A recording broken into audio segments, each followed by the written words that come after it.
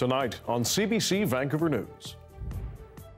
I feel like I've been priced out, like I'm stuck in my apartment. I'm affording my rent because I've been in my place for 11 years. Gloomy forecast. Canada's federal housing agency says home prices will climb in the coming years, while new supply is set to fall. Plus, this is a really difficult, complicated operation. And, uh, you know, it takes a lot of things to go right. But time is ticking to try to rescue the stranded orca calf near Vancouver Island. And without tea, you cannot make your day. A welcome meal after a day of fasting. We'll take you inside the kitchen of a local mosque as Ramadan winds down for Muslims. This is CBC Vancouver News.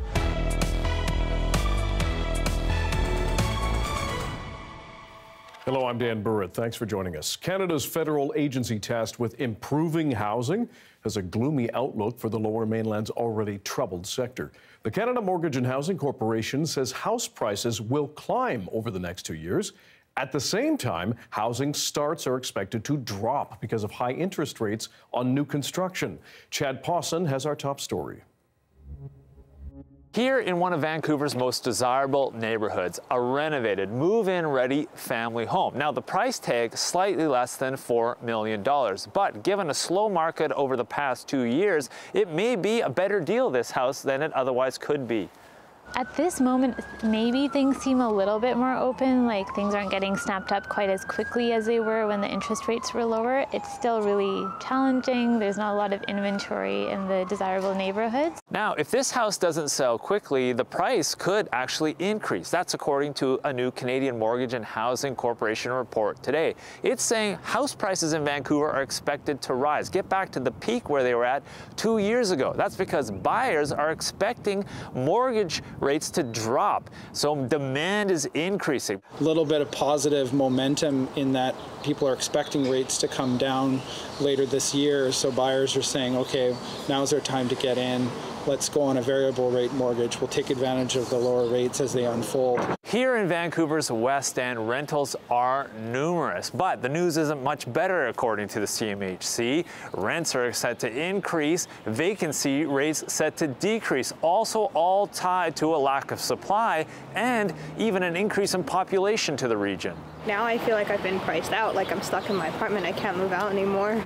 I'm affording my rent because I've been in my place for 11 years, so I'm protected under the tenancy rental um, cap that the government provides. The government should do something. But wait, hasn't the provincial government and the federal government been busy building rental housing? Yes, they have, with announcements almost weekly. But the CMHC says that supply is nowhere near to ready to keep up with demand. The provincial government, however, is more optimistic.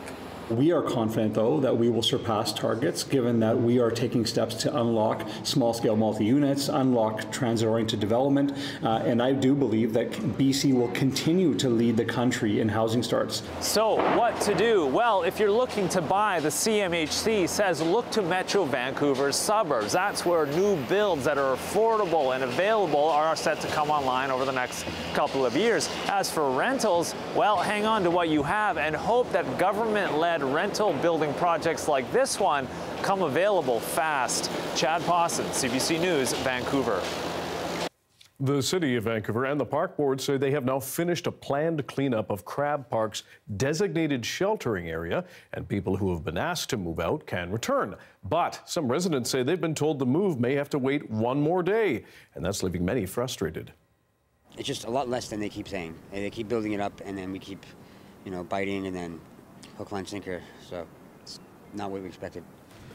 The board says it has removed makeshift structures, over 20 propane tanks, six generators, and resurfaced the area with gravel. It's also created 27 sheltering sites for the 27 people it says had been regularly staying in the park and given them tents. But one housing advocate says the number of people allowed to use that space is actually being reduced.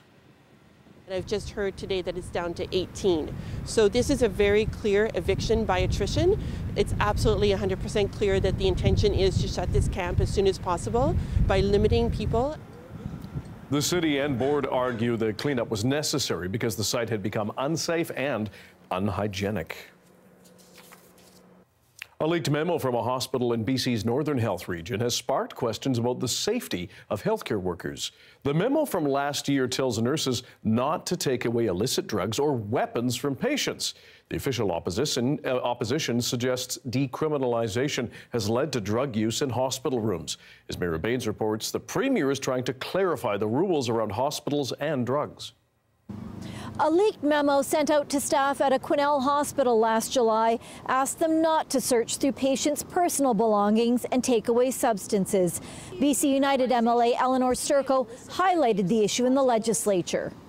Nurses face a daily reality of drug fueled violence, from having drug smoke purposely blown in their faces to being kicked, punched, shoved, and even stabbed the Northern Health memo also tells staff not to restrict visitors if they suspect they're dropping off illicit substances and also not to confiscate weapons if they're found. The memo came a few months after the possession of small amounts of certain drugs were decriminalized in the province under a three-year pilot project. Premier David Eby says more security has been added to hospitals and clarified the policy. We partnered with the Nurses Union on providing additional security in hospitals. Uh, and just to be totally clear, you're not allowed to smoke in the hospitals. You're not allowed to vape in the hospitals. You're not allowed to have weapons in the hospital. The president of the BC Nurses Union says there are safety concerns and they should be addressed by security.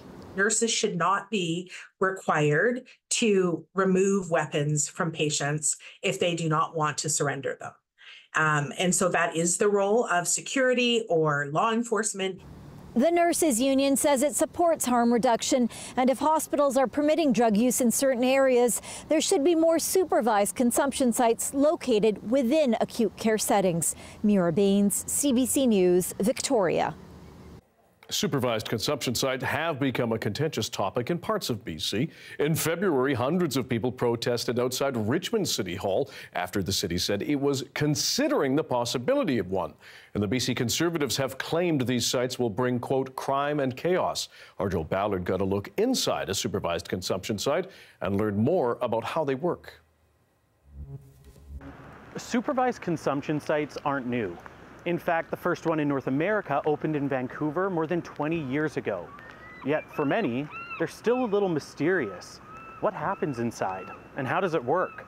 Well, it's been a while since we've been granted access inside of a supervised consumption site, so we've come to Surrey to take a tour.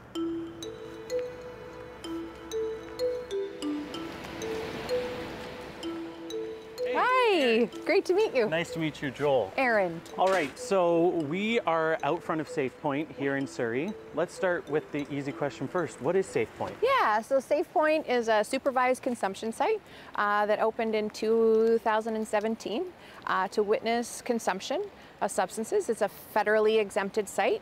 So folks would come up here and they would buzz in, and um, but I have a card, so yeah, we'll come on go. in. Yeah. She says more than 170 people access this supervised consumption site a day. So they arrive, um, they give a, a unique uh, identifier. Um, some people might call it a handle, um, but then it will pull up a bit of information about them. It's completely anonymous and not connected to any other health um, care services. Response emergency, overdose. In 2016, the overdose crisis prompted the province to declare a public health emergency. Since then, the BC Coroner Service says more than 13,000 have died. At SafePoint, Gibson says people can access free harm reduction supplies, like needles, syringes, and pipes, among other things, to ensure the equipment they're using is clean. For privacy reasons, Fraser Health let us tour the facility before it opened to the public for the day. All right, should we check it out? Yeah, come on okay. in. This is the consumption area. Individual booths line a wall, where Gibson says people can consume their drugs under the supervision of trained healthcare professionals. What's the benefit of having staff right here while this is happening? Yeah, so the staff, they can sit here, but they're often um, connecting with people and chatting with them in a more intimate kind of uh, conversation. Um, they're here to um, be supportive, caring witnesses who are trained um, to be readily respond in the event that uh, people uh, start to have a toxic drug poisoning event. Since this site opened in 2017, Fraser Health says staff have reversed more than 3,000 overdoses. And over the last half of a year, there's been an average of about nine overdoses a month. Gibson says it varies with the toxicity of the street supply. Why does a, a site like this matter? Harm reduction um, provides uh, a place for people um, to be to connect and be cared for. Substance use uh, remains one of the most highly stigmatized um, uh, things in community, and so people will often uh, they will isolate and they use alone, and then that's when we see adverse outcomes, and we continue to see the high rates of overdose death. One of the big concerns that we often hear around consumption sites, especially because for a lot of the public there might be a little bit of mystery around it, is oh, people are getting free drugs at these sites. Does that happen here? Yeah, so people bring their own previously procured substances um, and they bring them here to use um, under uh, trained witnesses. People do not buy or receive illegal drugs at a safe consumption site. However, Gibson says they can test their drugs to ensure they aren't tainted. And while here, she adds that people can also be connected to other services, like addiction clinics, shelter spaces, and basic wound care. Fraser Health says through SafePoint, more than 580 people have accepted referrals to other healthcare providers and social services. Supervised injection is just one of the services here. This area is an inhalation site. So we've really seen an increase in the amount of um, inhalation use over the last uh, five to seven years. Um, and uh, I think that that's sort of a testament to the change in the drug supply. And has inhalation become more popular than injection at this point? I would say so. Yeah. Yeah. yeah. Um, and I guess what are the the challenges of of now also dealing with um, this boost in, in inhalation compared to just injection? It's hard to find spaces that are appropriate uh, for uh, witnessed inhalation um, in terms of uh, they're also outside often, and so it makes it really difficult for some of the other parts of the province to um, have spaces that are accessible, especially when you're dealing with minus 30. The SafePoint supervised consumption site sits in Surrey's Whalley neighborhood, surrounded by community centers, a park, and homes. Whenever consumption sites open, we often see that there's um, some, some resistance, of course, from the community. Um, what makes a community a good area for a consumption site versus another part of the community? I think any place where you're seeing levels of unregulated toxic drug poisoning events is a good place to have it. It's understandable that communities um, have a lot of questions, so they're here to enhance safety, uh, reduce the public consumption of substances, um, connect people to services, build and be a part of building an inclusive community. Yeah, there's often lots of concern that opening a supervised consumption site like this or an overdose prevention site is going to increase public drug use in the area. Um, does that happen? What we know from the evidence and the research is that it actually can reduce uh, public disorder, public consumption, uh, and reduce um, uh, impact or reduce calls for service for police and, and fire. Since opening, she says there's been a reduction in the number of public overdoses within a 500 meter radius of the site. And there's never been an overdose death at SafePoint. What does the future look like for supervised consumption sites, at least within Fraser Health? We're looking to um, provide equitable regional access to witness consumption services as a standard part of, of healthcare. Uh, in all of our communities, it's an important, it's an important life-saving service. But for now, SafePoint remains the only federally exempted site in the entire Fraser Health region. Joel Ballard, CBC News, Surrey. Atira Women's Resource Society, the largest housing operator in BC, as a new CEO. Former Vancouver Park Board General Manager Donnie Rosa will head the agency starting April 22nd. Rosa spoke with Gloria Macarenko on CBC Radio's On the Coast. There's no better place to see community working together for great results. I think that'll be the approach, and those are the lessons I'll bring with me into this leadership role. Rosa takes the helm of Atira, Atira nearly a year after it was rocked by a conflict of interest scandal. Former CEO Janice Abbott resigned last May after a damning audit found conflict of interest in violations involving her husband, the former head of BC Housing.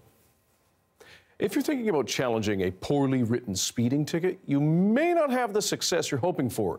The BC Court of Appeal weighed in this week on a commonly held myth that missing information on a ticket will mean the fee is automatically thrown out. The CBC's Lien Yeung spoke with Jason Proctor about what actually happened.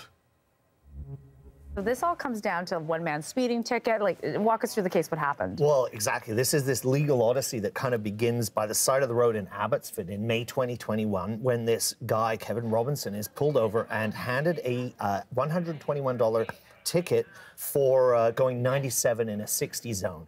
And so he goes to provincial court with a ticket. And what the ticket says is he was fined for disobeying a traffic control device. But he points out, well, the ticket didn't say what device he disobeyed. You know, it could have been a sign, could have been a marker, could have been a line.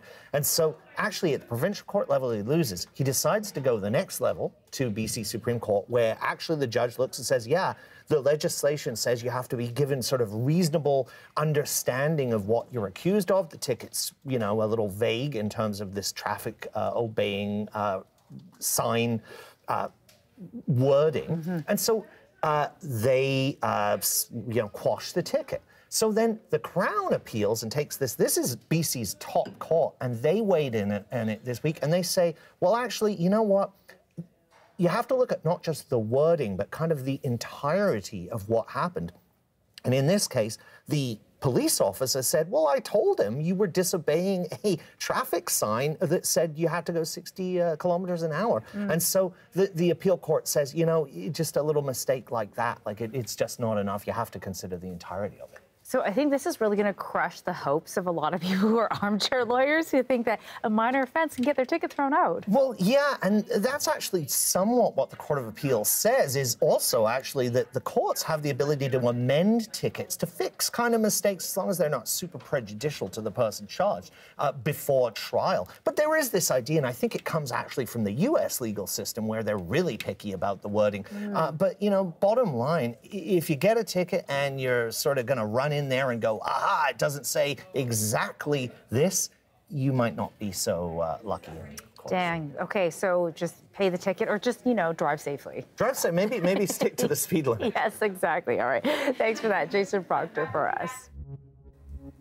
The province says it is setting up a dedicated wildfire training and education center at Thompson Rivers University in Kamloops. The premier calls it an important step for, prepar- for preparing firefighters of the future. In the last three years, we've seen two of the worst forest fire seasons our province has ever seen. And the trend is clear uh, and profoundly concerning right now. Uh, the snowpack is much lower than normal. Many parts of our province uh, at the highest level of drought. Um, and uh, the fire threat is very profound. The program comes after recommendations from a provincial task force that's finding ways to support people during emergencies. Eby says it's the first program of its kind in North America. Classes are set to begin next year.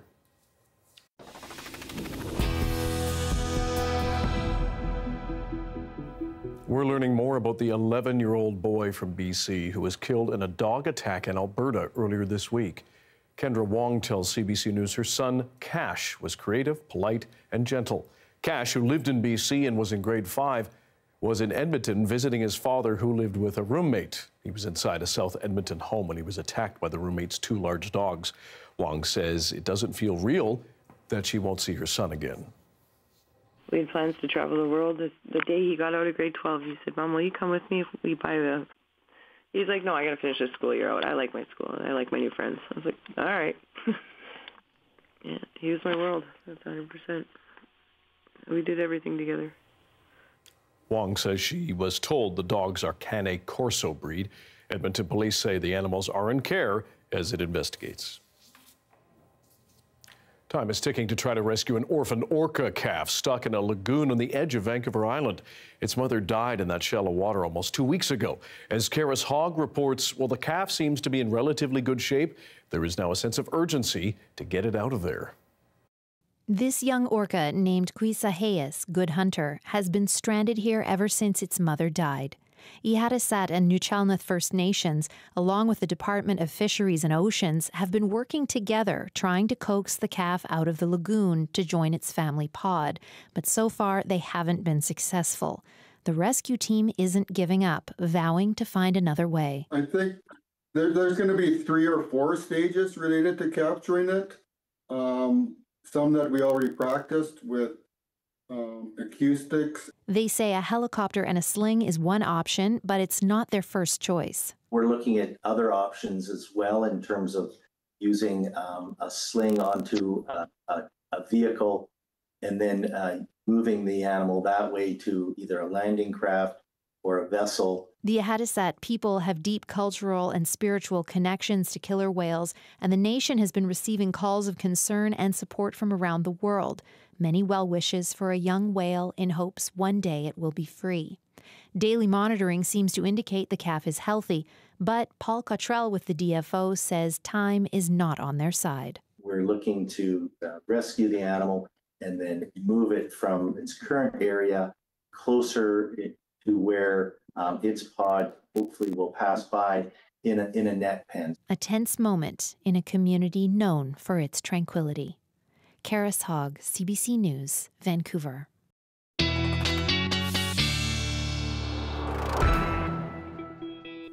Darius Mahdavi, our science and climate expert, joins us now with a first look at the weather. We heard the Premier talking about wildfire preparedness, training firefighters for the future, and you have an update on that. Yes, uh, we've got uh, that, that wildfire that was listed as out of control uh, earlier this week uh, in Merritt.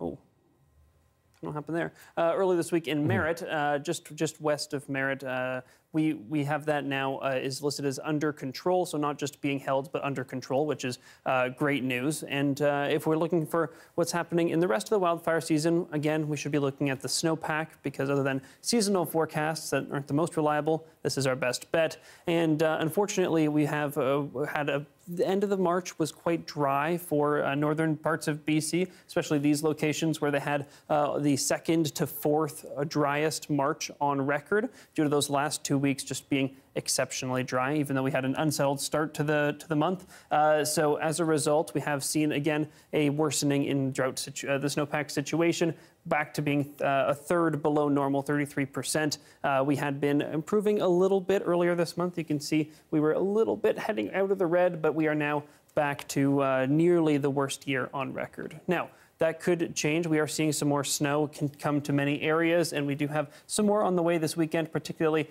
for parts of the southeast. This is frozen for some reason, uh, but if we turn to here in Vancouver, a sunny day tomorrow, so don't expect any uh, precipitation here. Okay, thanks very much. We'll check in later. Thanks, Thank Darius. The month of Ramadan is coming to an end in a few days for Muslims. Since it began, volunteers have been working to make sure a meal is provided for free to all those who need it when breaking their fast at sunset. As the CBC's Zahra Premji explains, the need has grown over the years as more newcomers turn to Canada as a safe haven. The sun is soon to set, and that means the first sip of water and bite of food after several hours of fasting for many Muslims observing Ramadan across the world. Here at Al Masjid Al Jamia, the work has started well in advance, and it's going on for the entire month of Ramadan. All right, so food is obviously key in iftar. Everyone's been fasting all day, so let's check in with the volunteers that have been preparing this food while also fasting. Now I'm making a very special drink.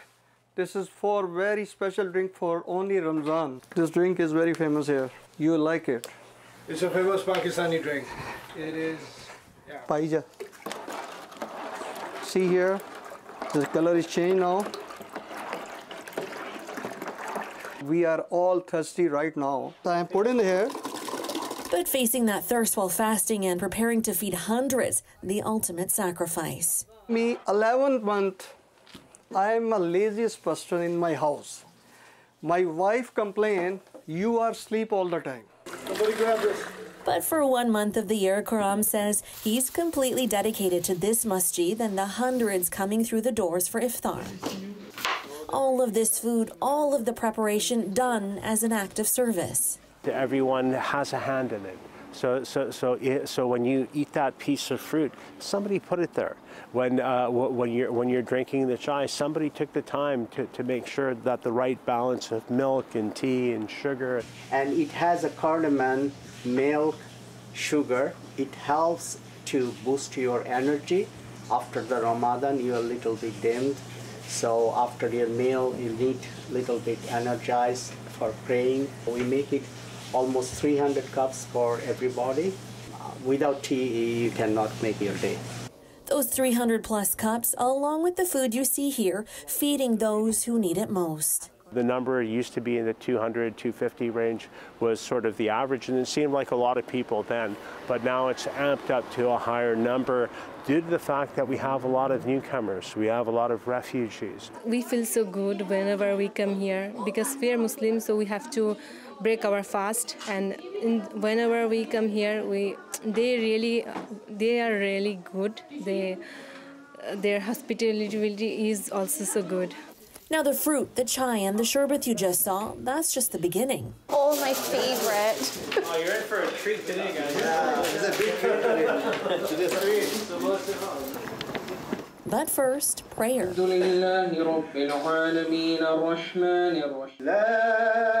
then the meal. And then some more prayer. Giving thanks for the ability to share in a free meal prepared by dozens of generous volunteers. We are like a family. Without love, you know, the, uh, the, there's really nothing, and there's a lot of love in this place. Zahra Premji, CBC News, Vancouver. It was one of the largest non nuclear explosions, and it happened right here in BC. After the break, we take you back to the 1958 blast at Ripple Rock.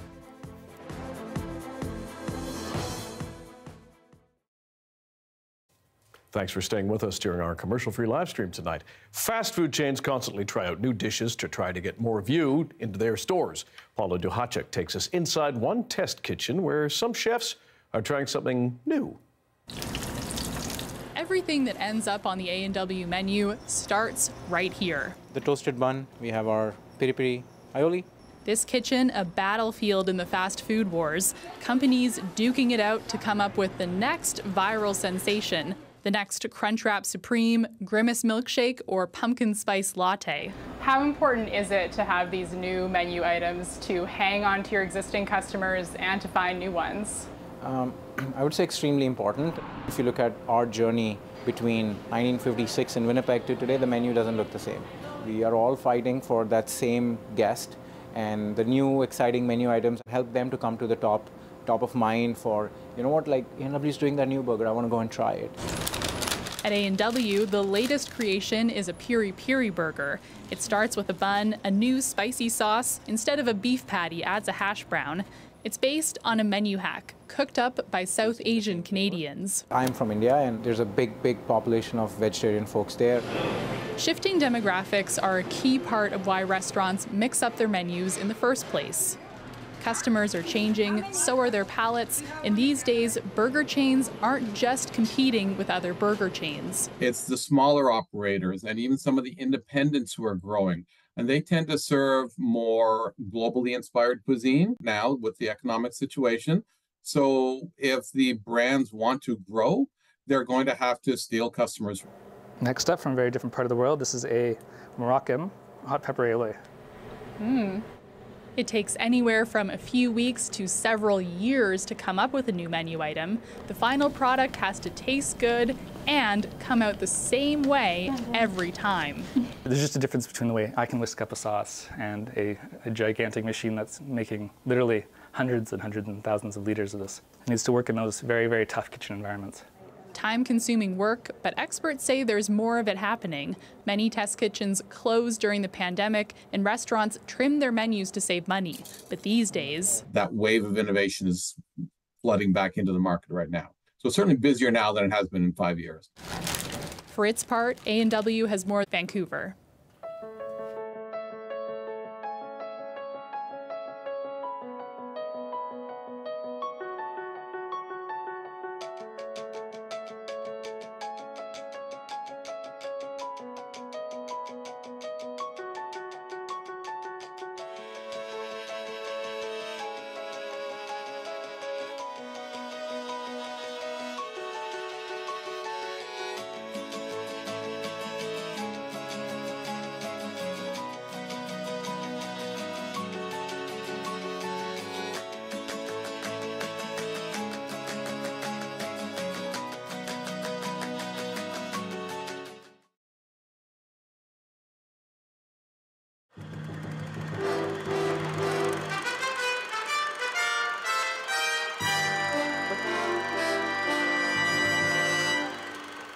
It is Throwback Thursday, where we plunge deep into our vast CBC archives. 66 years ago, the Ripple Rock explosion took place in Seymour Narrows near Campbell River. That planned blast was carried out to cut the danger to mariners posed by an underwater mountain. And the explosion was broadcast live on CBC News. This funny looking place we're in is our bunker. You can see it's pretty well constructed. And as you can also see, it's just about as full of people as it can po possibly be. Down at the far end, the CBC uh, radio commentators, uh, film cameramen by the score, uh, then our colleague from the French uh, network, uh, Bill and I, and just over here, uh, the two cameras. Of course, you can't see the camera that's taking the pictures, but there's the other one. And out on its snout, that great long snorkel that sticks out there is a 25-inch lens, and that'll pretty well put uh, Ripple Rock right smack in the middle of your living room when it goes up or out or sideways or whatever it's going to do in two minutes and 15 seconds right now. How about the countdown, Ted? Well, the countdown, Bill, will be your baby. 15, 14, 13, 12, 11, 10, 9, 8, 7, 6, 5.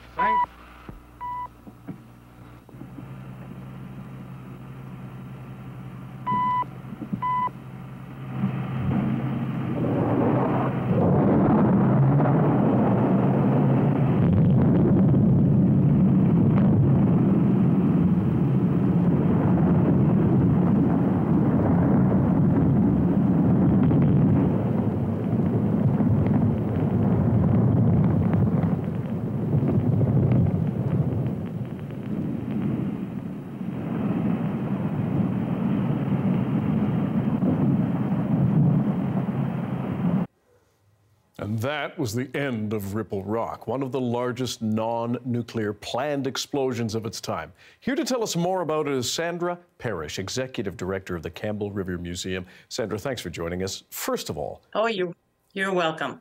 tell us why was Ripple Rock so dangerous? Well, you know, at uh, it was a large under uh, underground underwater mountain, and at low tide, the top peak was only about nine feet below the water. So you can imagine this was a very narrow passage. Uh, there was a lot of um, whirlpools and all sorts of things. So it would be an easy thing to end up hitting it, and a lot of vessels did. So it was quite treacherous. Uh, Do we have any sense of how many people were killed or, or, or drowned by it? Well, I mean, it's it's hard to it's hard to know, but but we the the number of 114 within our knowledge Mhm. is is commonly used. Yeah, yeah. That's a lot of lives. Uh, Why was It's a blowing? lot of lives. Yeah. Uh, why was blowing it up considered a, a marvel of engineering?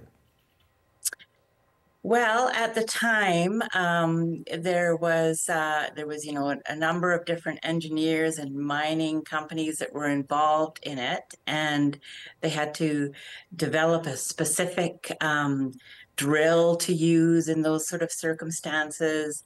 It was a, quite a massive tunnel, all under all under the seabed, uh, and they just really did not know how much what the impact was going to be. So, quite a feat. Uh, we're, and we're looking at some of this footage again. It is immense how, how big this blast was. Um, and one of the commentators said, well, we're in this sturdy frame wood, uh, I guess, protective cover. What did planners do to keep people safe? Because that is an amazing blast.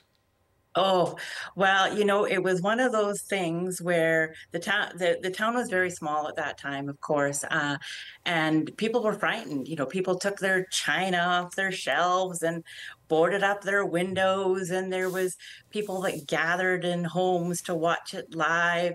There was even a group that went over to, I believe, April Point, where they, which was the closest they could get to it, to view it.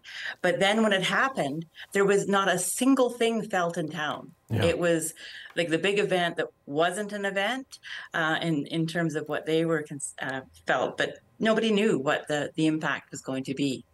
Mhm. And you can hear that in that commentator's voice. they're in that they're in that uh, bunker thing and not sure if he's going to make it through or not well, considering how much, how much, how many, explo- how much explosive and, and, and how much rock they actually had to move, uh, is it? uh, And tell us about now that it was after it was destroyed. What did that do for the for the for the passage of vessels around Seymour Narrows? Well, it certainly did make it a much safer passage. Uh, the top is uh, down about uh, 42 feet on a, a low tide, so that's nice and safe. But it is still very, you know, very much a, a treacherous body of water. You know, you have to choose your your time to go through there and uh, choose just the right tides. And and of course, uh, in about 19, I think it was 1985, that we had that um, cruise ship, the Sundancer, that Mm. just sort of scuffed the edge of it and um, was maybe the one of the, the more recent victims of Ripple Rock. Well, we're glad. Mhm. Hopefully, there are not any more. Sandra Parrish, Executive Director of the Campbell River Museum. We appreciate your time and your insight. Thanks for joining us. You're welcome. Have a good day. Rescue crews in Taiwan say the number of people stranded after yesterday's powerful earthquake is now in the hundreds. More on the rescue missions after the break.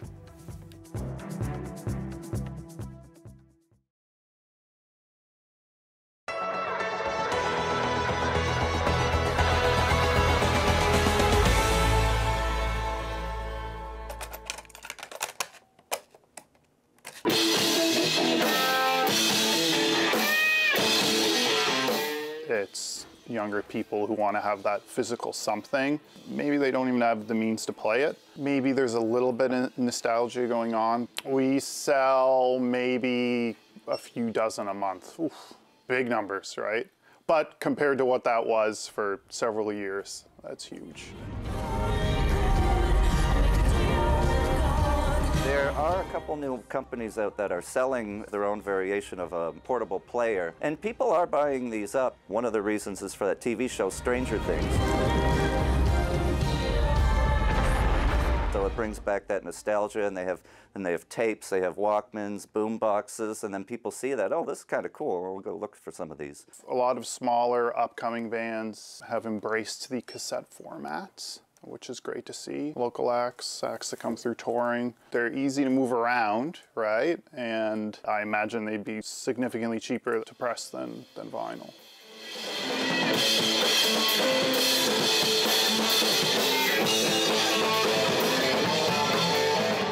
Hi, I'm Emily. I'm Adam. I'm Will. I'm Cole.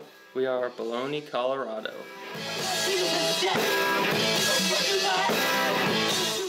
So I had a, an old Astro van that I was driving around for a couple of years, and it only had a cassette player in it. The radio didn't work, so we went to Value Village and bought a, you know, a ton of, a ton of cassettes. Uh, personal favorites: Ray Charles, Jerry Lee Lewis, this sort of thing. So when, every time we were on our way to a gig, we'd blast those on, on cassette in the van. So when we were making our own music, we said, oh, you know, we got to get cassettes because this is kind of what we're listening to and and you know going to gigs with and stuff. Um, merch is definitely where most of the money's at for us at this level, anyways. So any physical copy of music selling is is a win. My business director and I, we started three years ago. He sent me a news article on the cassette tape resurgence. So I laughed a little bit. I checked it out. So I came back to him and I thought, okay, yeah, this is awesome. It just brought the nostalgia back, and uh, we noticed that there was a market for this with bands releasing uh, music on cassette tape during the pandemic, and we just dived in. The demographics go anywhere from about 17, 18 years old to 45, 50. So then you have your tape collectors that are in their late 30s, 40s. But then the younger generation, they're seeing this and they might have seen tapes when they were growing up. But that depends on when they were born, whether it was late 80s or early 90s. And then they see them again and they thought, oh, I, I didn't know that people still made these. So they see that and that kind of attracts them to it, especially if they're in a band. We've had a couple people that have that said they're super cool. We've had people that have gotten us to sign them. It's it's kind of one of those things that I think a lot of people like just having something physical from the band, not so much for the music aspect, but just for the you know kind of idea of a souvenir or something from the show.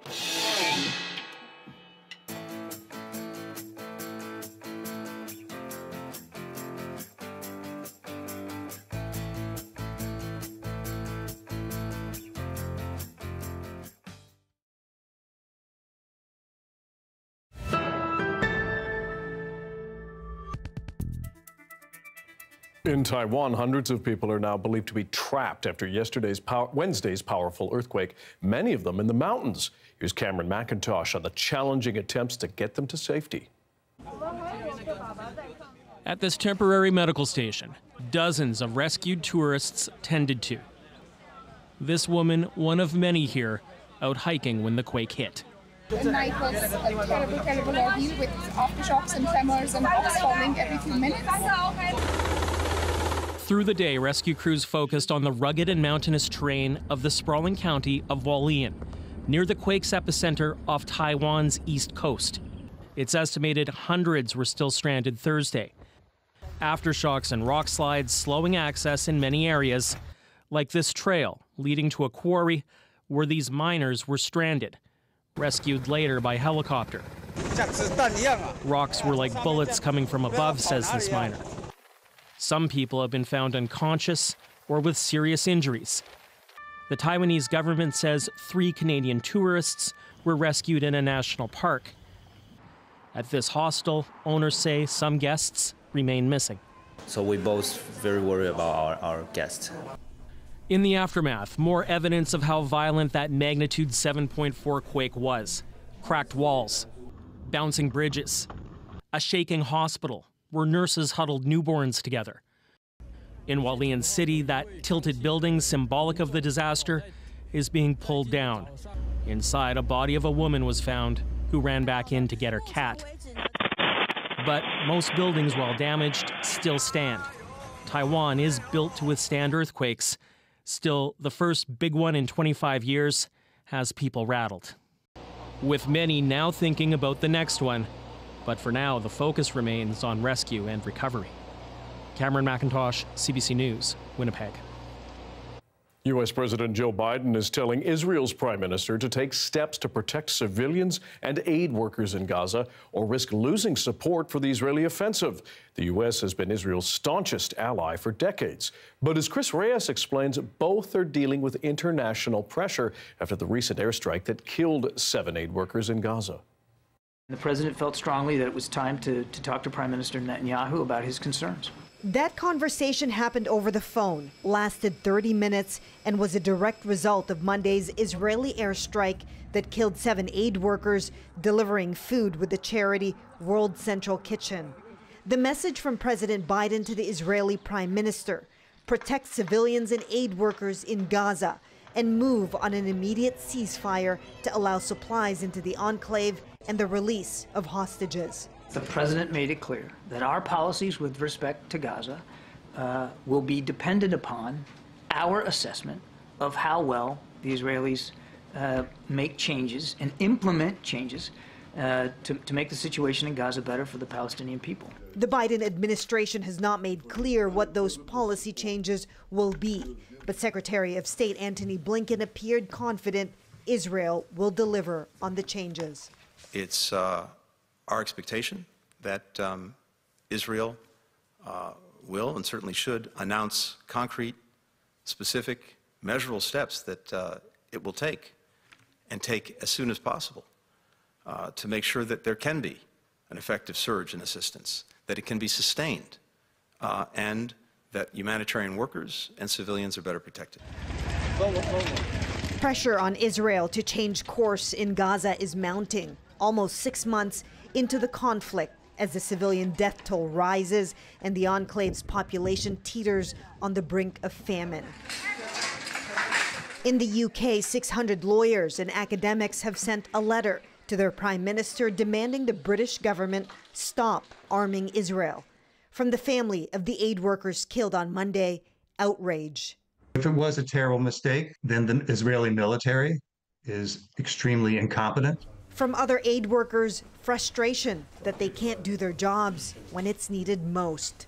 We have been saying it for weeks now.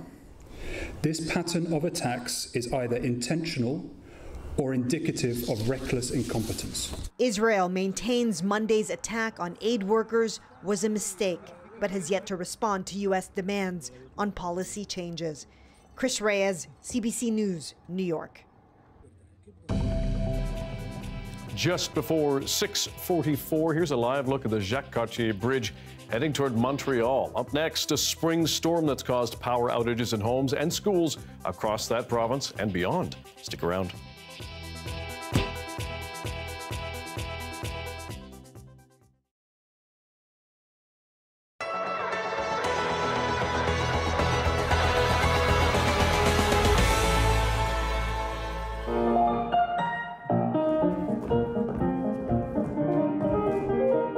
I first found out about the exam, I had no idea that nobody had taken it before. Um, but then when I started working on it more, I found out nobody had. So I thought it was a huge opportunity for me, and I really pushed myself, and it was a great honor. I got to work with Melissa Wallace, my dance teacher, and we got to choreograph uh, around three to four exercises like a choreographed entrance, a port de bras and adage, and a coda, which is fancy turns. And then I also got to perform a variation from the Sleeping Beauty as well as a Spanish variation. Overall, it was just actually a great achievement to have. Um, now I am working on furthering my teaching credentials and hoping that I can inspire younger dancers to work towards this exam. I remember showing them pictures from the day of and they just kept having me go back and look through them all with them and explain everything behind it. They were very excited for me.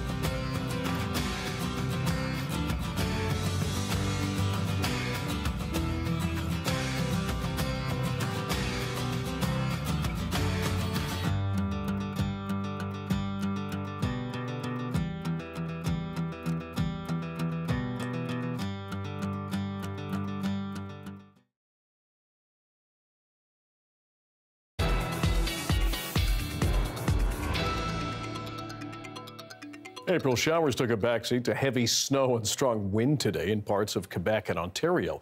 And as the CBC's Sarah Levitt explains, the spring storm caused widespread power outages. It may officially be spring, but winter is having the last laugh. Snow has been walloping southern Quebec and parts of Ontario since early Thursday morning, and it's moving eastward. Wet, heavy, and unforgiving.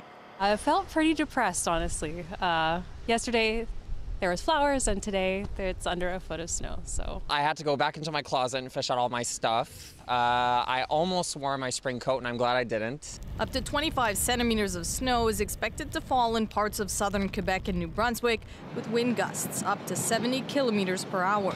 Hundreds of schools closed due to the conditions, the dense snow clinging to trees and power lines.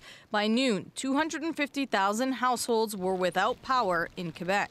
The snow is essentially three to six times more heavy than usually it would be.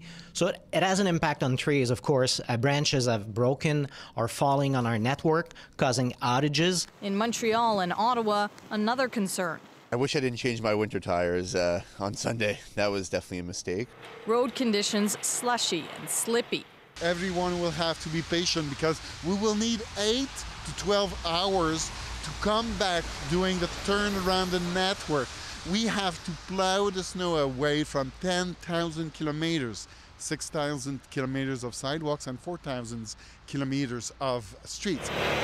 After a particularly mild winter, this storm feels unexpected, but in the first half of April, don't be surprised. It doesn't happen every year. In the second half of April, it's more exceptional. And at the beginning of May, it's like near records or like we're it's really extreme.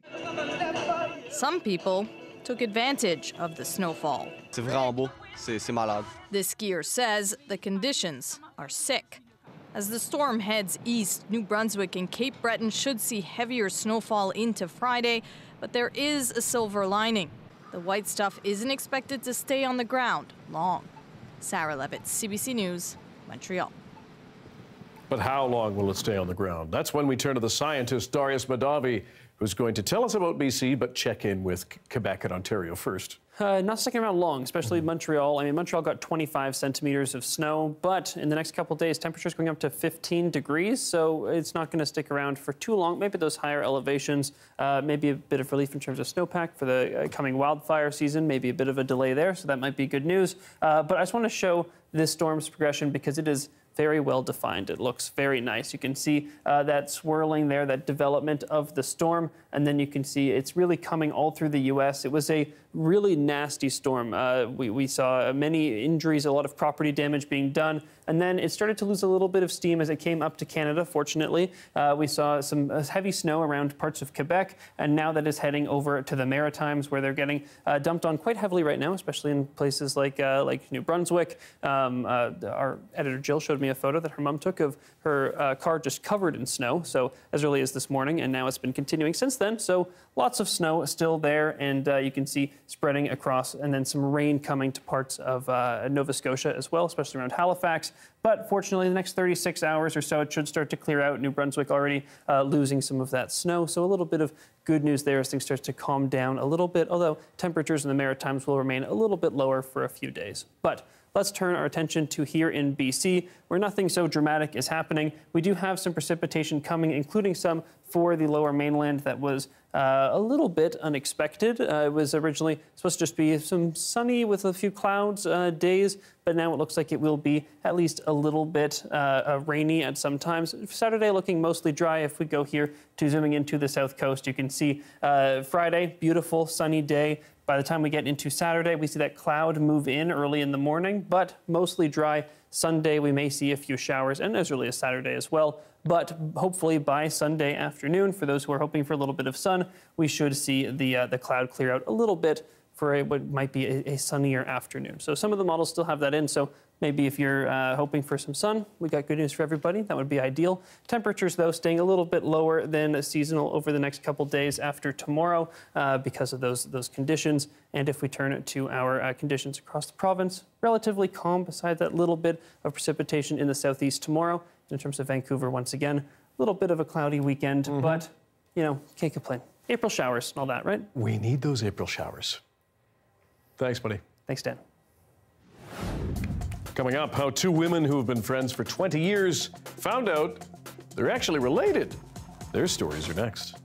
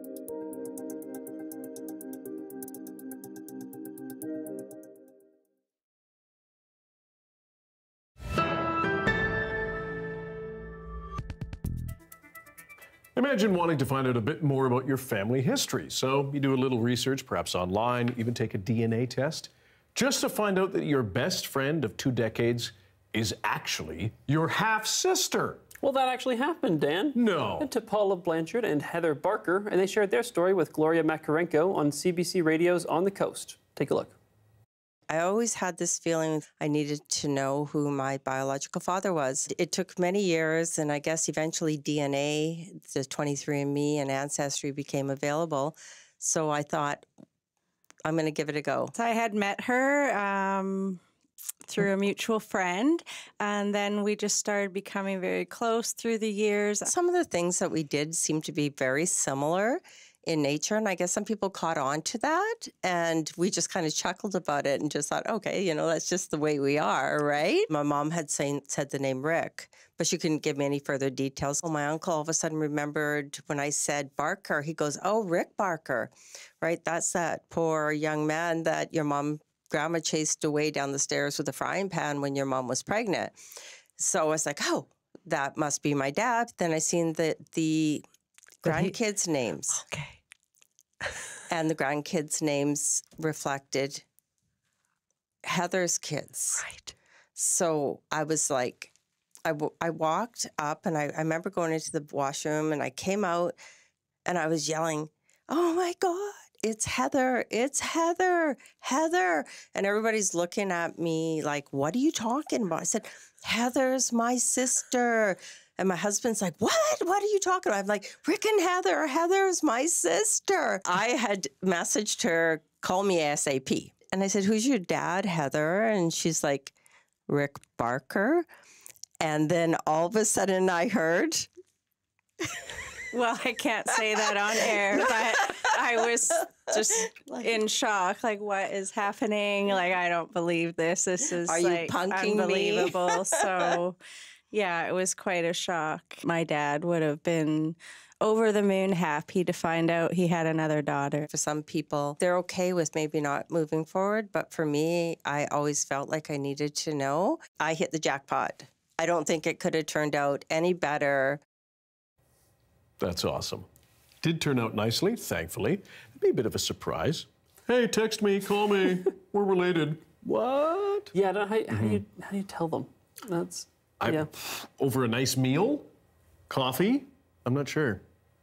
I have a more Thanks for coming over. Yeah, we're, you're in the wheel now. Mm, okay. Thanks for being with us tonight on CBC Vancouver News at 6. You can watch this newscast on CBC Gem, our free app, as well as on YouTube and our website, cbc.ca slash BC. And we will have your next local news at 11 o'clock, right after the National. See you then.